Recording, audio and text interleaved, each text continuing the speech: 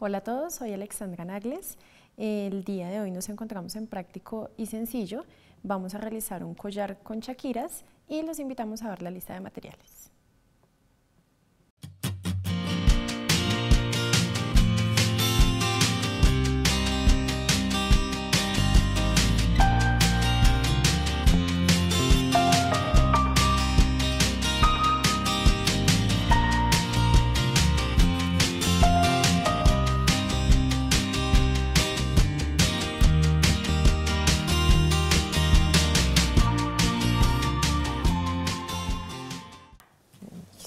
Entonces aquí ya encontramos una gran parte adelantada.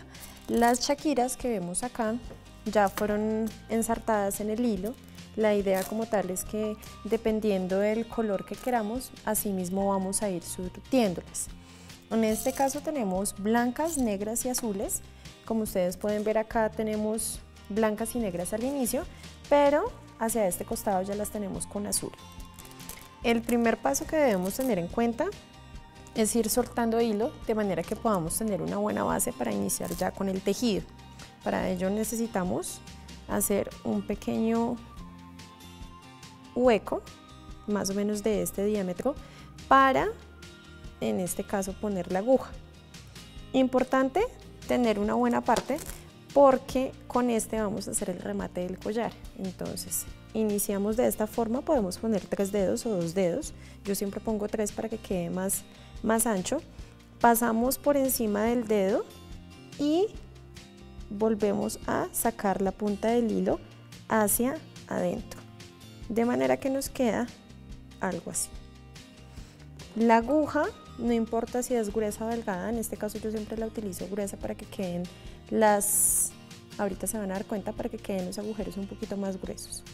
La pasamos por dentro y sacamos el ojito de manera que quede este costado. Tomamos la aguja, la pasamos por debajo, sacamos una parte y con el gancho que tenemos lo arrastramos hacia adentro, de manera que queda una primera puntada. Siempre es importante dejar esto suelto, de manera que podamos mover la aguja como nosotros prefiramos. Entonces, volvemos nuevamente con este dedo, que es nuestro apoyo, lanzamos la parte que vamos a tejer. Nuevamente, pasamos la parte, soltamos por debajo, nuevamente con el gancho arrastramos hacia adentro y acá hacemos la cadenita. Entonces pasamos por debajo, con el gancho ingresamos y ahí van quedando nuestras cadenetas. Nuevamente por lo general siempre dejo entre 8 días para que quede más grueso. Y acá se van a ver que están pequeños. Si queremos que sean más grandes, hacemos el mismo proceso, pasamos por debajo, insertamos con el gancho y en vez de jalarlo hacia adentro, lo dejamos un poquito suelto. Entre menos presión, la cadeneta va a quedar más grande y por ende se va a ver más nuestro agujero nuevamente. Al iniciar no hay problema con que las contemos. La idea precisamente es que vayamos haciendo un recuento de cuántas queremos. Ahí ya irían más o menos 12. Tomamos ya sea una, dos o tres. Yo siempre por lo general tomo tres para que quede una en la mitad y se pueda ver más bonito.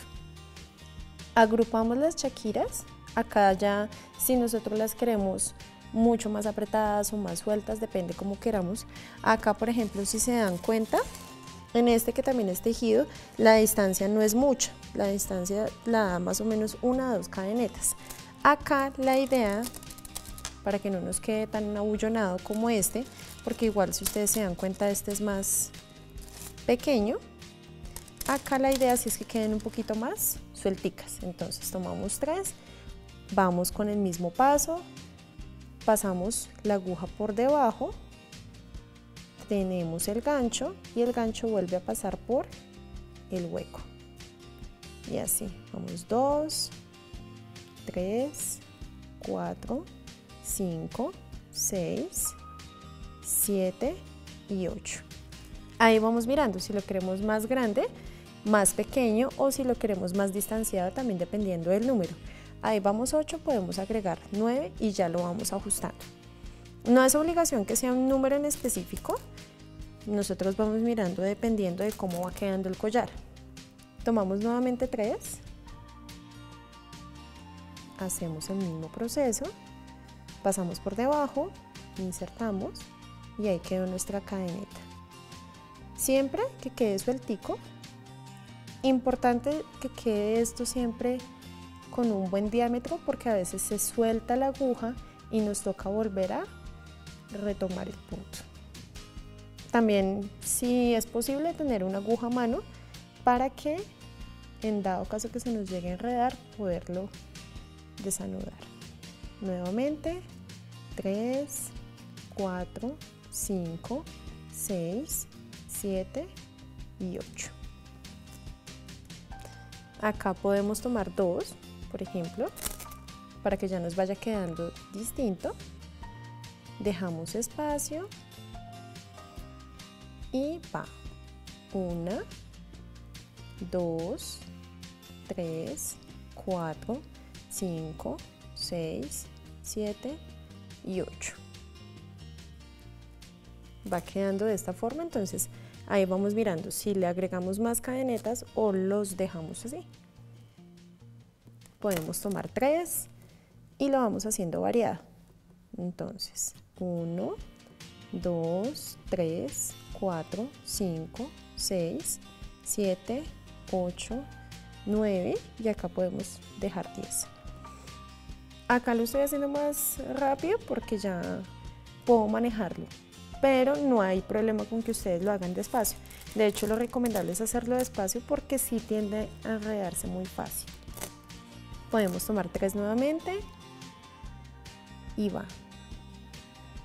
Ahí ya lo aseguré, puedo como ustedes se dan cuenta había quedado más sueltico. Puedo jalar de este costado, de mano izquierda, y allí hago presión para que queden más unidas como tenemos acá. Va 1, 2, 3, 4, 5, 6, 7 y ahí van quedando 8, 9 y 10.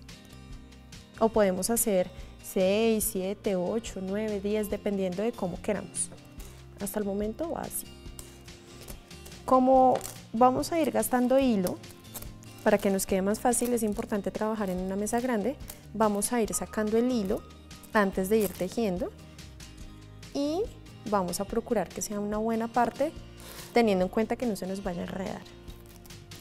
Vamos a ir soltando las chaquiras, de manera lenta, pero que sea un grupo grande para que no tengamos que soltar muy seguido. Algo así, como les quede más fácil, pues realmente a mí me queda mucho más sencillo así. Vamos soltando y acá sí tenemos cuidado porque ya nos vamos acercando a nuestro punto nuevamente. Para jalarlas, entonces acá sí aseguro de manera que no vaya a tener ningún accidente.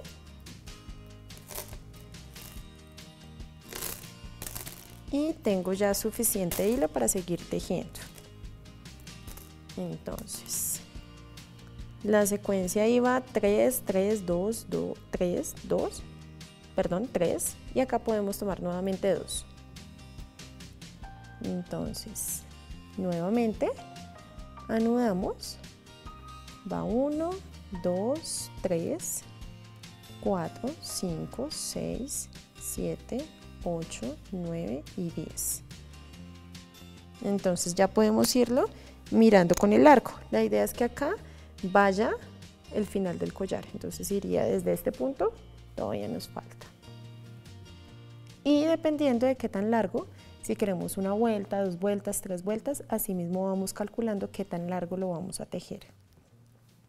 3, 4, 5, 6, 7, 8, 9 y 10. Los colores van a preferencia de cada uno.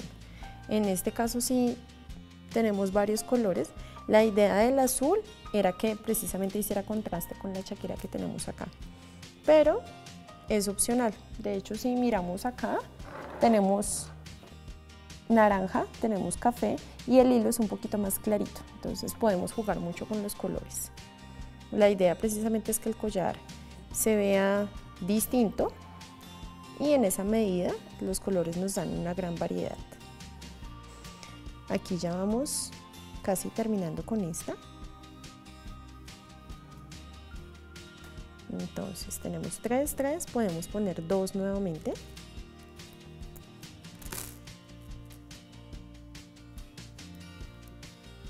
De manera que nos quede con diferentes piedritas y que nos quede distanciado. 4, 5, 6, 7, 8, 9 y 10. Yo siempre hago esto para que me quede mucho más sencillo, entonces con los dedos simplemente las voy corriendo, de manera que no me toque devolverme a la tira para sacarlas. Entonces tengo acá mi espacio suficiente, paso por debajo nuevamente, jalo hacia adentro y ahí ya tengo la primera cadeneta. 1, 2, 3, 4, 5, 6, 7, 8, 9 y 10. Vuelvo y tomo. Entonces tenemos 3, 2, 3, nuevamente 3. Y va. El mismo proceso debe ser por todo el collar. Entonces, como les decía, importante tener en cuenta que no se re, entonces tratar de dejarlo hacia este costado o distanciarlo con esta mano para que no se nos vaya a enredar el hilo de acá con este de acá. Nuevamente 3, tomamos 2. Buscar siempre un espacio cómodo porque esto es lo más largo que hay, lo más extenso. Por eso sí, un punto de ventaja es ya tener las, las chequiras ensartadas en el hilo. Como estas son chequiras grandes, podemos utilizar agujas de coser, no hay problema. Porque hay unas agujas especiales para las chequiras que tienen un agujero más pequeñito. Entonces con estas sí podemos trabajar sin problema. ¿El proceso es repetitivo? Sí,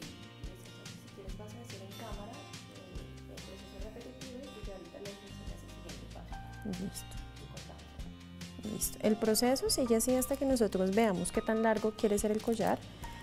Acá por lo menos tenemos una primera tirita, pero la idea es que entre más largo sea el collar, efectivamente nosotros vayamos mirando cuántas tenemos que tejer.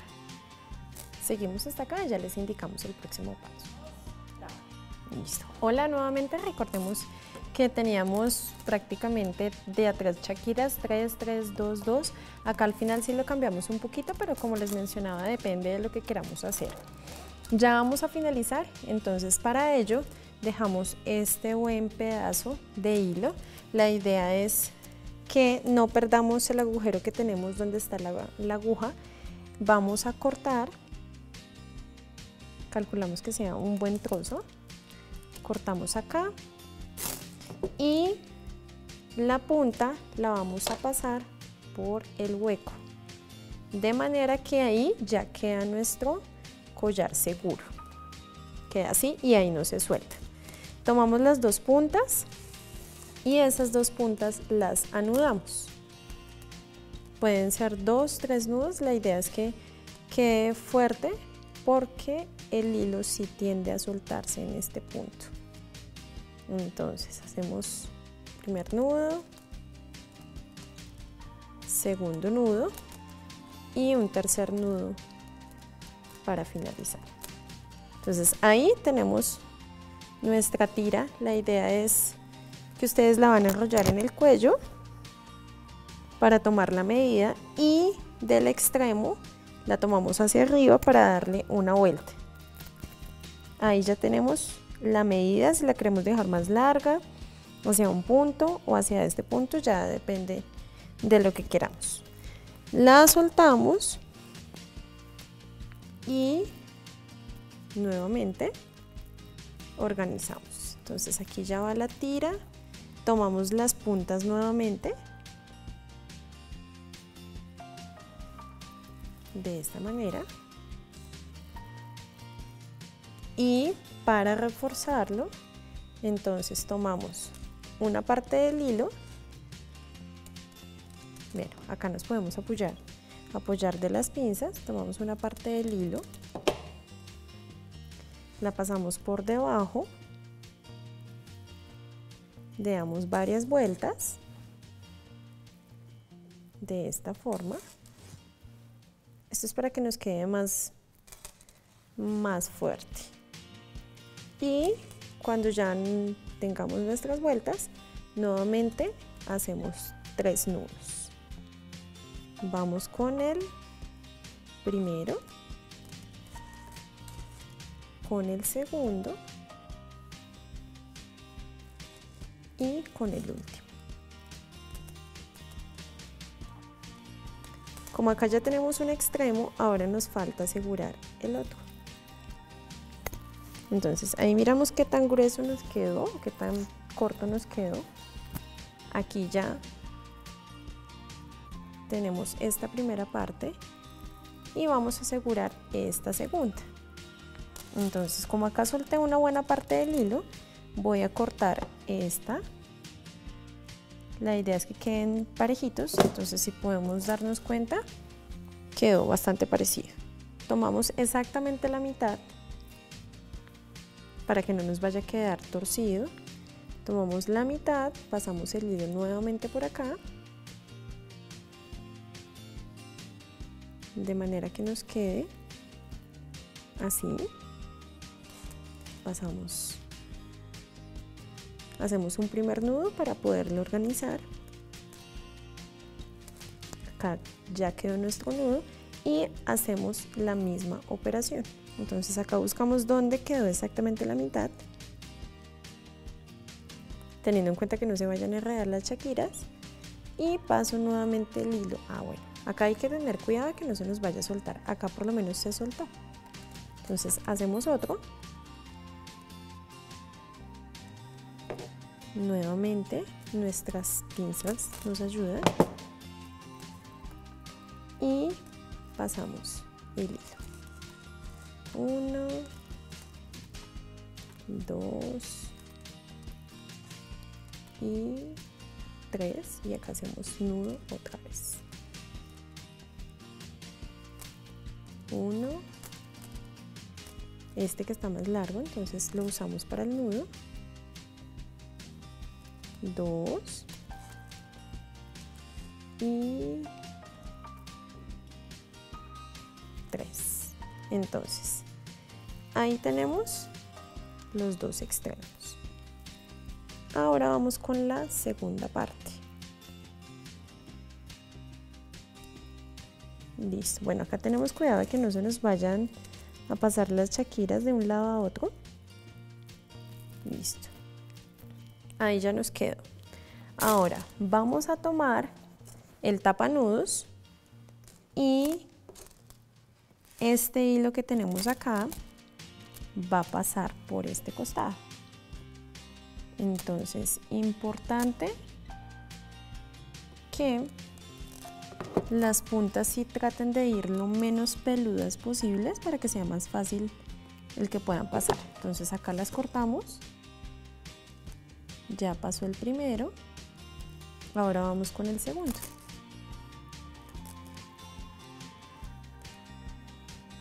Nuevamente cortamos.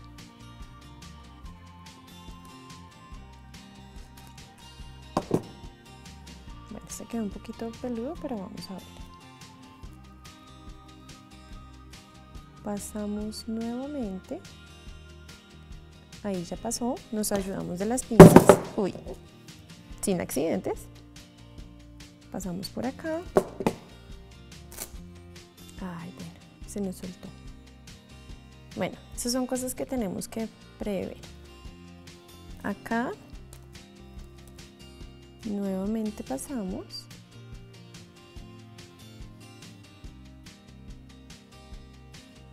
La idea es que como estas se abren por mitad, vaya todo el hilo hacia adentro.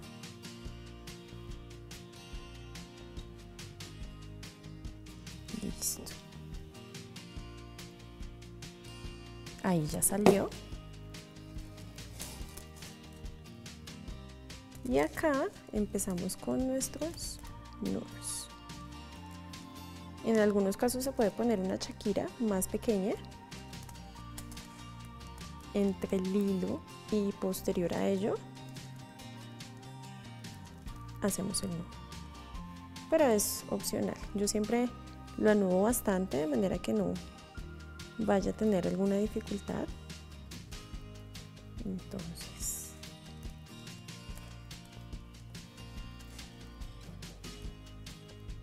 y debemos tener cuidado de que nuestro nudo no se vaya a pasar por detrás del broche así como nos pasó ahorita. Entonces vamos a soltar un poco, lo deslizamos hacia adelante y nuevamente seguimos con nuestra cadena de nudos.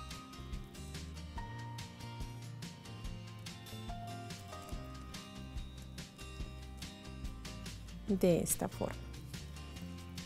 Entonces, va quedando así. Vamos con el otro extremo. Nuevamente tomamos otro tapanudos. La idea es mirar siempre que estos tapanudos estén hacia el mismo diámetro en cada costado porque hay, unas, hay unos que tienen un poco más delgado hacia un lado que el otro. Igual como esto tenemos que cerrarlo, la idea sí es que veamos que sean gruesitos. Si no, preferiblemente buscar otro que se acomode a lo que estamos necesitando. Acá nuevamente pasamos. Bueno, este sí está mucho más peludo, entonces podemos hacerlo de esta forma, de manera que se vaya cerrando. Y nos pueden quedar dos, pero ya es mucho más sencillo.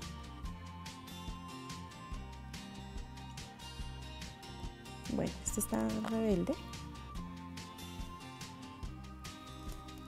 Y acá nos salieron dos. Listo. Nos ayudamos de la pinza. Jalamos hacia adentro y ya nos queda listo para hacer nuestro nudo. Entonces, va un nudo,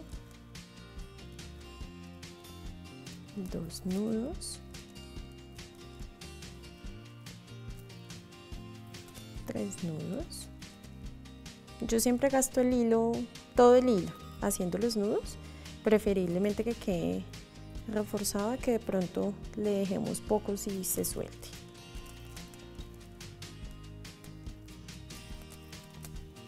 Entonces,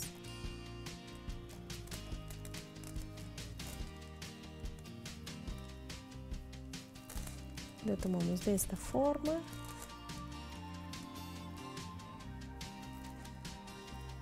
Y volvemos con este costado.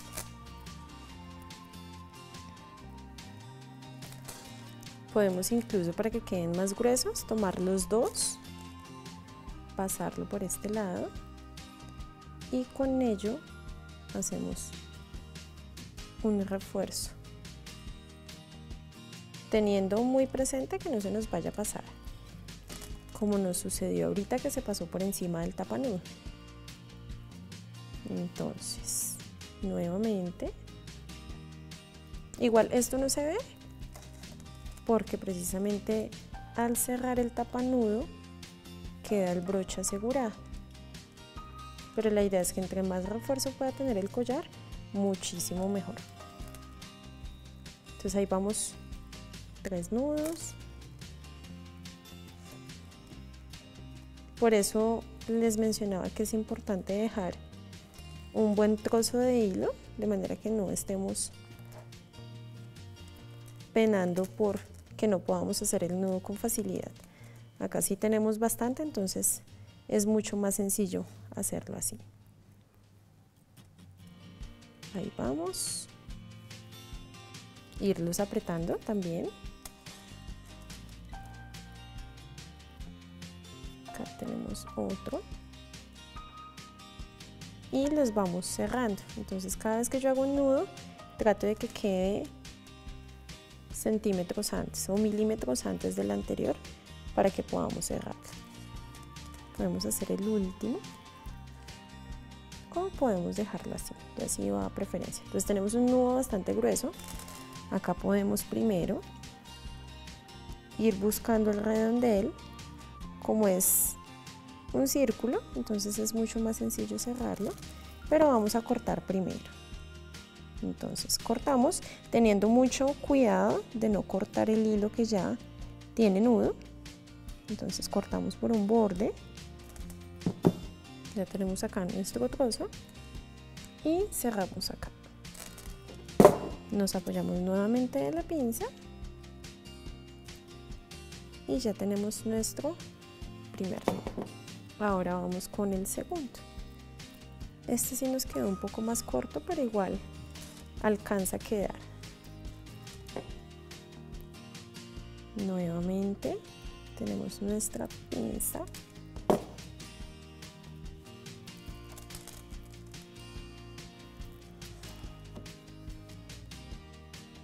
El collar depende del largo que ustedes quieran, pero sí es importante irlo ensayando. Es decir, ustedes van mirando las tiras y van probando qué tan largo lo quieren, dependiendo si lo quieren gargantilla, si quieren que dé varias vueltas o si quieren que sea sencillo. Ahí, sí depende del gusto de, de cada persona. Hacemos otro nudo acá y ya casi está nuestro collar. Nuevamente.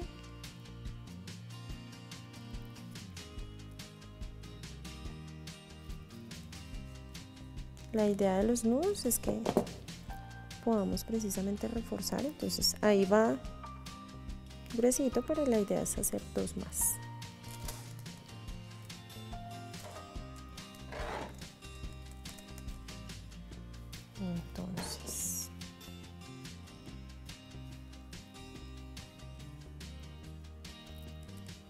Siempre haciendo el nudo en el punto anterior para que pueda reforzarse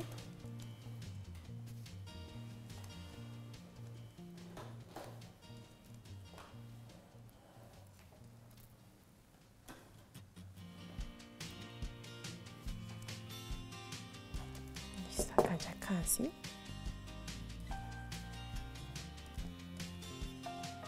Hacemos el último antes de cortar. Y ahí vemos que nuestro nudo ya está. Entonces, cortamos.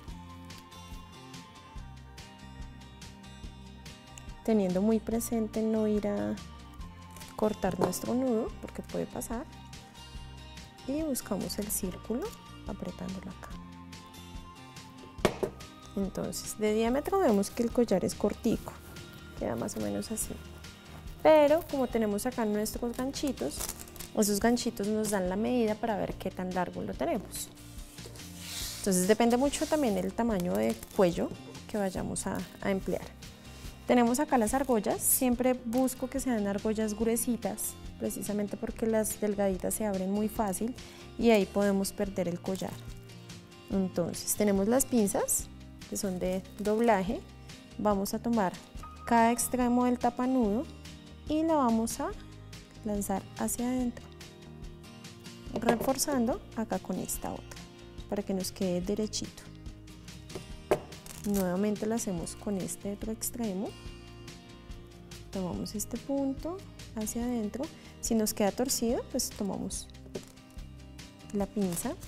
Y acá ya empezamos a abrir nuestras argollas. Cuando el collar es largo solamente se pone una, pero en vista de que este quedó ajustadito podemos poner varias para que quede un poco más largo la abrimos nuevamente, la pasamos por la otra argolla, la aseguramos de manera que no se nos vaya a soltar, la abrimos nuevamente. La idea es que queden reforzaditas, por eso siempre es ideal buscar materiales que sean buenos precisamente para evitar accidentes. nuevamente y esta sí como quedó un poquito suelta la podemos ajustar de acá no mucho porque si no se nos deforma y ajustamos nuevamente acá entonces ahí vamos mirando. Ahora ensayamos de este punto. Nuevamente tomamos de acá.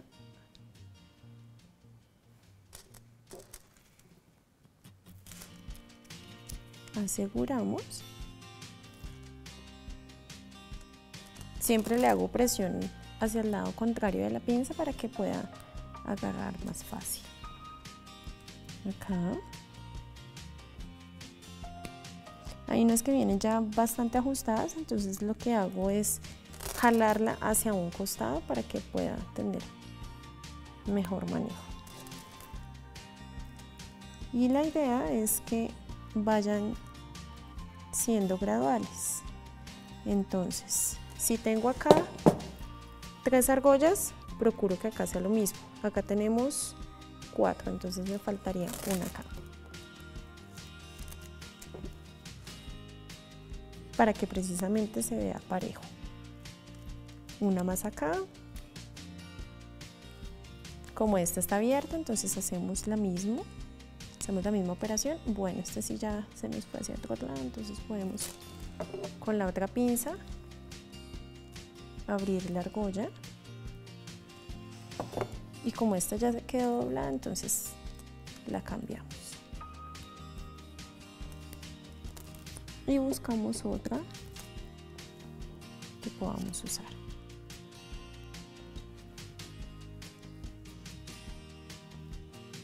Esta ahora sí quedó. Listo. Entonces buscamos nuestra nuestro broche. Hay algunos broches que son más fuertes que otros, entonces siempre es importante ensayarlo antes. Este, por ejemplo, parece que está apenas. Vamos a mirar otro en dado caso, si de pronto está más suave. Bueno, podemos utilizar este. Entonces, acá tomamos otra argollita, pero esta sí va a ser para nuestro broche. Ya está, solo es ponerla acá. Ajustamos. Y como acá ya quedó, entonces nos falta una de este lado. pasamos y aseguramos entonces ahí quedó nuestro collar y vamos a cerrar listo ahí ya quedó nuestro collar